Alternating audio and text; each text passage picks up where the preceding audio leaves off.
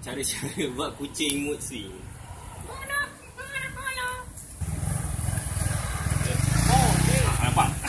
mood swing.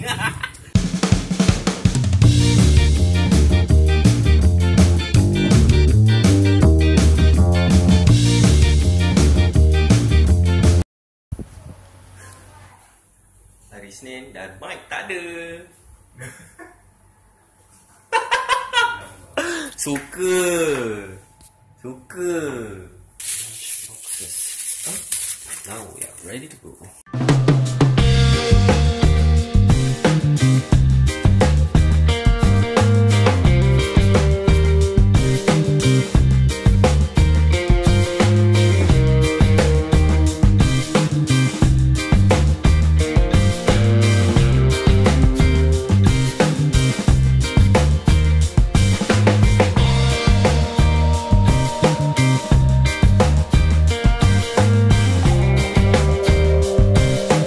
Yang jadi dekat kau hari ni adalah hasil keputusan semalam kau.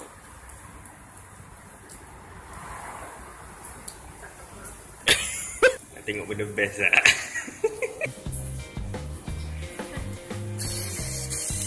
Tengok ah. Orang ajar. Eh, babi.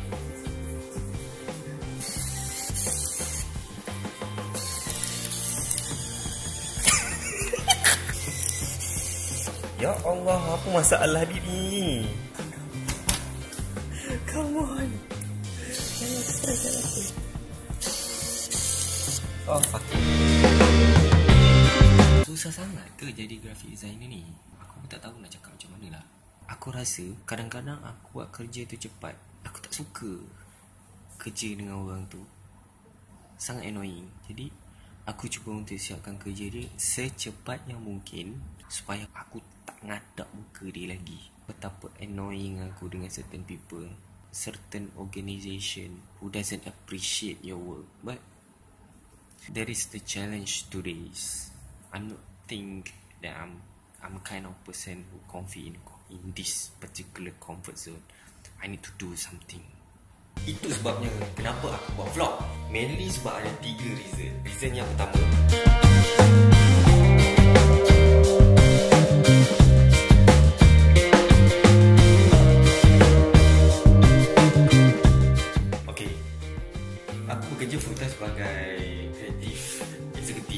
But our environment is not creative enough. Jadi momen untuk aku refresh balik kreativiti aku, aku kena buat sesuatu yang kreatif lah hari-hari. Hari-hari. That's why aku buat vlog.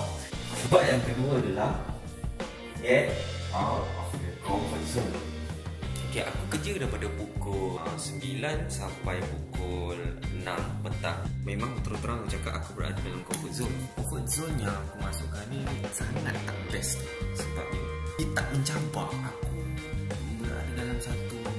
decline of productivity so far yang aku rasa for the past 2 weeks. Uh, sebab yang ketiga adalah for fun. Aku nak hiburkan orang dengan vlog aku. Cerita pasal kehidupan aku hari-hari yang aku buat benda bodoh yang aku lalui apa somehow get entertain aku anggap apa yang aku buat ni adalah reality show walaupun dia tak nampak dekat dekat TV ataupun kat apa at least aku buat benda yang reality bukan fake. It's not scripted. Vlogging challenge me each and every day to make a new interesting and fun thing that I share with you all.